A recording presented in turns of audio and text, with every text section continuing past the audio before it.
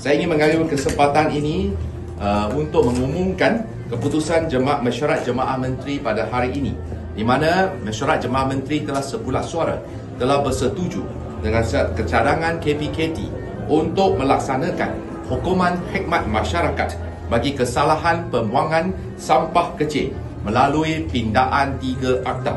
Untuk makluman, KPKT akan uh, telah mengemukakan uh, memorandum jemaah menteri pada pagi ini dan uh, kabinet secara prinsip telah pun bersetuju supaya tiga akta dipindah iaitu pertama Akta Pengurusan Sisa Pepecah dan Pembersihan Awam tahun 2007 atau dikenali sebagai Akta 672.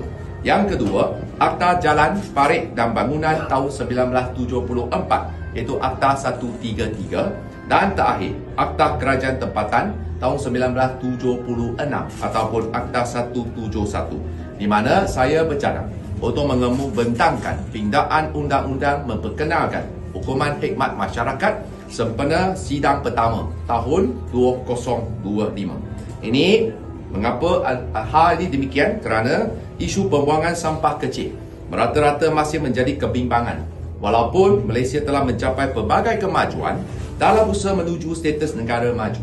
Tanggungjawab pembersih diletakkan sepenuhnya pada uh, kepada pihak kerajaan. Okey, penambahan uh, kamera CCTV uh, semestinya akan ditambahkan khususnya tahun depan uh, sudah juga dimaklumkan KPKT telah berjaya diperuntukkan 15 juta ringgit untuk program Smart City.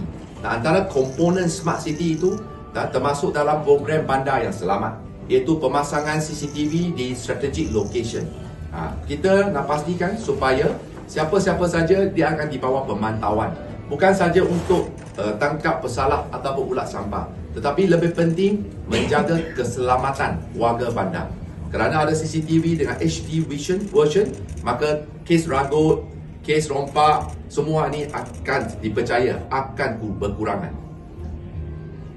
hari ini cuma dapat uh, kelulusan uh, berprinsip kita akan terus uh, mengkaji model yang terbaik sama ada pesalah kesalahan pertama ataupun untuk repeated offenders. Itu kita akan kaji. Alright?